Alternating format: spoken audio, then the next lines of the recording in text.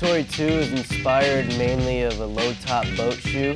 Just really keeps it a basic look of simplicity and style for skateboarding. This colorway is a special Plan B collaboration. PU sock liner to cushion your feet from hard landings. Minimal seams in the toe box area for longer lasting skate shoes. Keeps its style and shape the whole way through. We added herringbone thread to the bottom of the sole for max grip.